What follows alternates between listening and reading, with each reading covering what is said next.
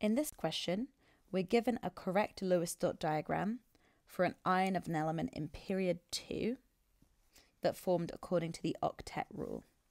And if we look at our diagram, we can see we've got eight valence electrons shown in our shell and a charge of minus 1.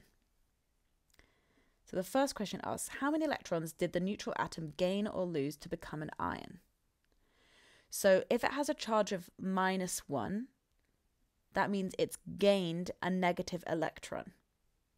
So this one has gained one electron to gain a charge of negative 1. So what group is this element in? So going to look at our periodic table, we figured out our shortcut based on the group that something was in.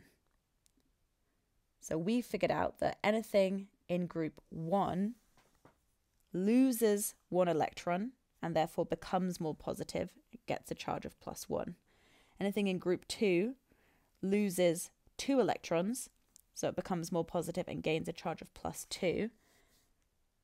And anything in group 13 loses three electrons and becomes more positive and so gains a charge of plus 3. On the other hand, anything in group 15 is going to gain three electrons. Electrons are negatively charged, so they're gaining a negative charge of negative 3.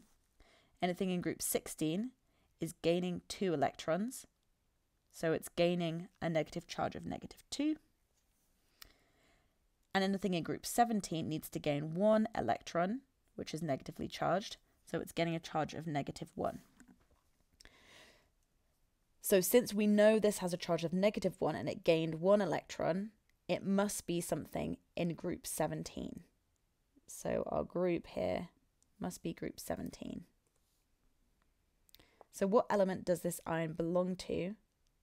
Well, we know that it's in period 2 and group 17, so we can now go and have a look. If we have something in period 17, it must be in this column, and something in group 2, which is this row, that lands us on fluorine. So what element is this? It must be fluorine. And so the final thing we can add to our Lewis dot diagram is the symbol which goes in the middle there.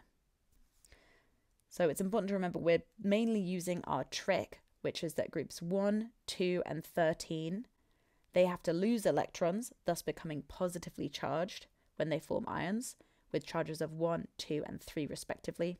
And group 15, 16, and 17 need to gain electrons, thus becoming more negatively charged, with charges of negative 3, negative 2, and negative 1 respectively. That's our shortcut that we can use in these problems.